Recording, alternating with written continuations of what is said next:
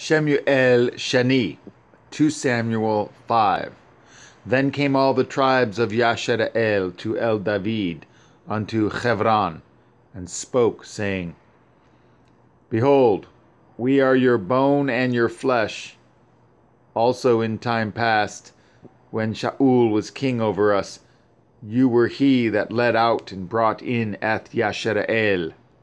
And Yahweh said to you, You shall feed Eth my people, Eth Yashara'el, and you shall be a captain over Yashara'el.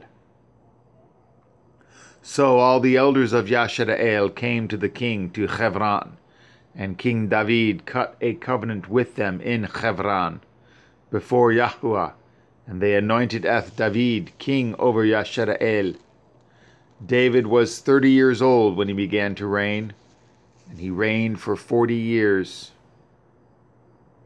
In Chevron he reigned over Yehudah seven years and six months, and in Yerushalayim he reigned thirty and three years over all Yashara'el and Yehudah.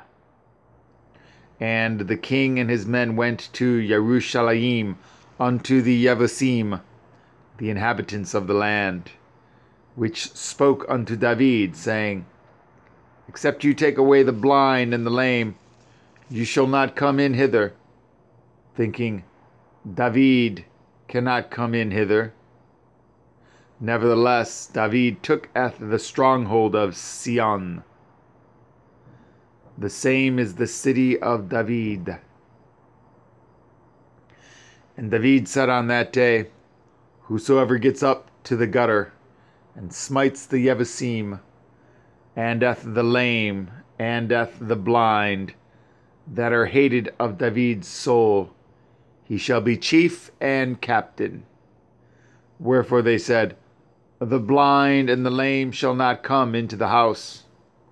So David dwelt in the fort, and called it the city of David.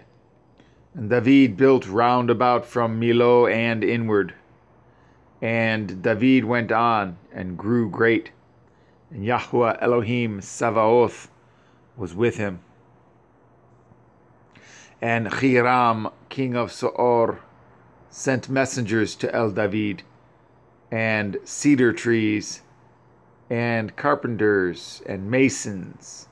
They built David a house David perceived that Yahweh had established him king over Yashara'el, and that he had exalted his kingdom for his people Yashara'el's sake.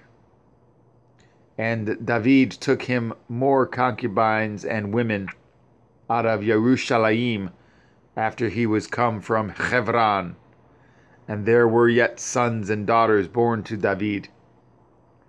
And these be the names of those that were born unto him in Yerushalayim Shammua, and Shovav, and Nathan, and Shalomoah. Rather, Shalomah.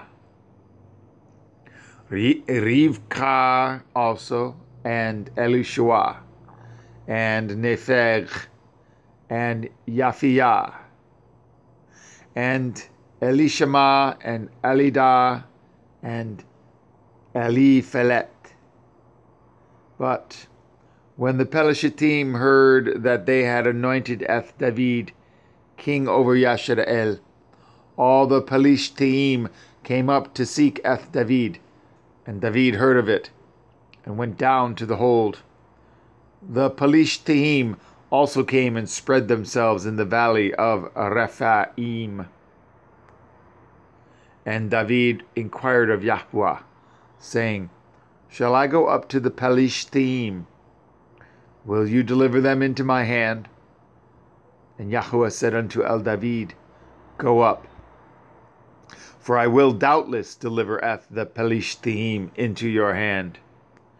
And David came to Baal Parashim, rather Baal Peratzim, and David smote them there and said, Yahweh has broken forth upon Eth my enemies before me, as the breach of waters. Therefore he called the name of that place Baal Perazim. And there they left eth their images, and David and his men burned them. And the Pelishtim came up yet again, and spread themselves in the valley of Raphaim.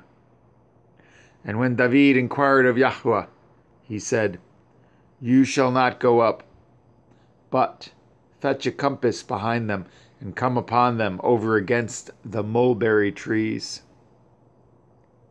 And let it be when you hear eth the sound of a going in the tops of the mulberry trees, that they rather that then you shall bestir yourself. For then shall Yahweh go out before you to smite the host of the Pelishtim. And David did so, as Yahweh had commanded him, and smote eth the Pelishtim from Givah until you come to Gezer.